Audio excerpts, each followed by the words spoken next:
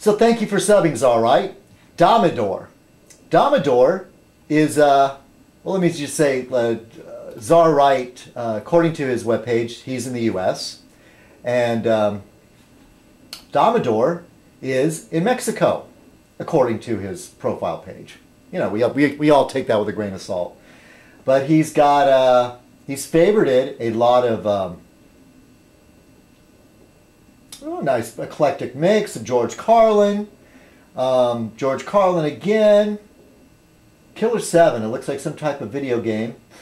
Diary of a Dead Man. Think, your calculator is wrong. Um, and he's got a subscription to The Amazing Atheist, I see. I watched that one video by that guy, I don't know. I didn't think he was amazing. and he also likes to watch Stefbot, who I really don't care for because he seems like he's uh, one of those like, yo, motivated, you know, Dr. Phil wannabes. But that's all right. I guess he's harmless. But uh, I sub I commented on one of his videos and it was just like this back and forth. Stefbot, it felt like I was talking with a robot. It was like, well, well, apparently you don't like the comment. Well, I was. I wasn't getting anywhere with him. It's kind of like he's doing that sort of therapist thing. So like, so what do you think? Tell me how you feel. it's it's not good. It's not good having uh, getting into arguments with guys those guys, especially for someone. You know, anyway, enough about Stefbot. But hey, Domador, I won't hold it against you if you like Stefbot. So thank you for subbing, Domador. In case you don't know, Stefbot is some, yeah, he's some bald-headed guy. Well, I'm not holding that against him. I'm losing my hair too. But he's a guy that does these Oh, one thing he does, he makes his videos really long, and I'd like to know how he's allowed to do that. I want to know. I want to be able to do Fez Night without chopping it up. Wouldn't that be great? It would be easier on me, easier on you too, wouldn't it? Um, yeah, but he's like the Dr. Phil of YouTube. And uh, and next is a Canadian. Um, well, or they're from Canada. It might be a group of people.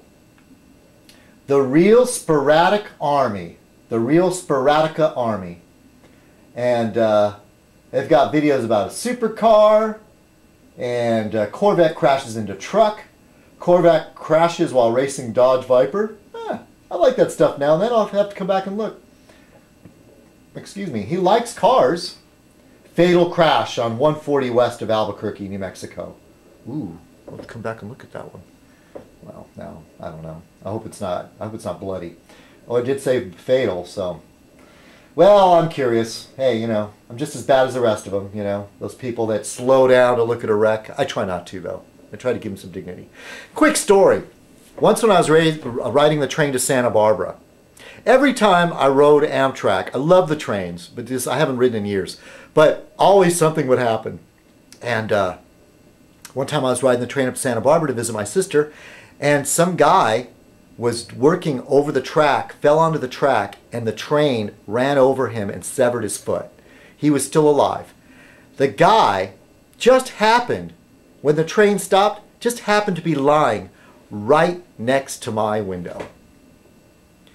And and people were talking and one woman was kind of freaking out and I wasn't going to look outside.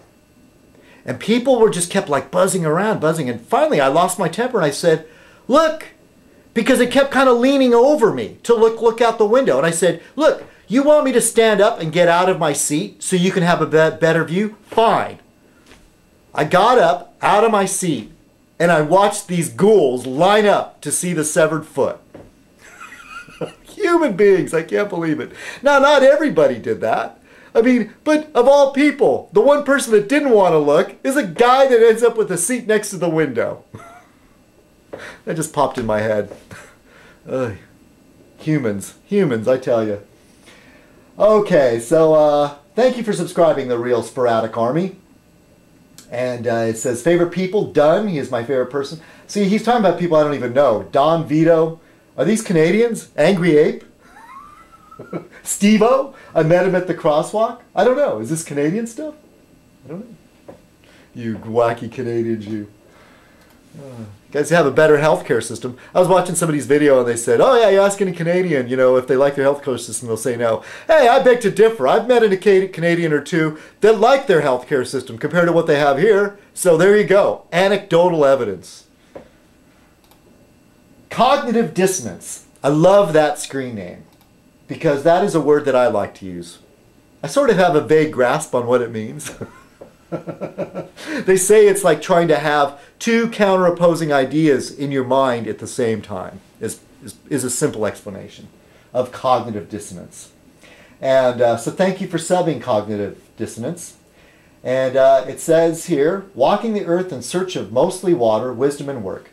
References available upon request. If you are an American, I hope you will look at and comment on some of the videos in my U.S. government politics and vote fraud playlists. Peace. When the power of love overcomes the love of power, the world will know peace. By Jimi Hendrix.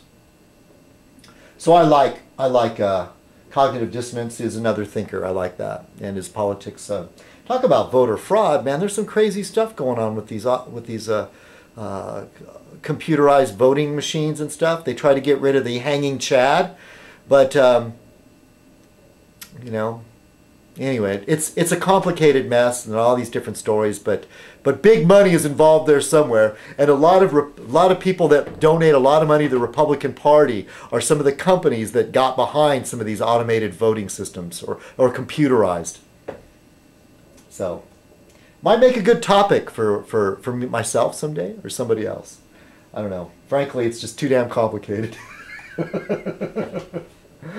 All right, thank you for subbing Cognitive Dissonance. The American Suit. Now, what could this be? The American Suit. Um, he's got favorites uh, Bullshit PETA. I'll have to look at that. Penn and Teller, The Bible is Bullshit. Tom Cruise scares me. What is your favorite Bible verse? Atheist. Oh, okay. So he has sort of like, I think, like sort of belief, non belief leanings. And uh, you know you live in 2008 when you go to a party, sit down, and make MySpace pics. Not me. I don't go to parties anymore. Aye, you haven't played solitaire with real cards in years. I hate solitaire. The reason for not staying in touch with your friends is that they don't have an AIM, MSN, Facebook, or YouTube. LOL, okay? You'd rather look all over the house for the remote instead of just pushing the button on the TV. Yeah, that's me. Your evening activity is sitting at the computer. That's me again. Um, you read this list and keep nodding and smiling. you think about how stupid you are for reading this. you were too busy to notice number five. What was that? There is no number five. oh. Yeah, there is no number five. Oh, you're tricky. You were too busy to know. You you actually scroll back to check if there was a number five, and now you're laughing at your stupidity. Put this in your profile if you fell for it. You know you did. Ryan. Yes, I fell for it. Citizen Kong did. Right in front of everybody on a Fez night. So cheers, the American suit. Ryan, thank you for subbing. And according to his profile page, he is an American.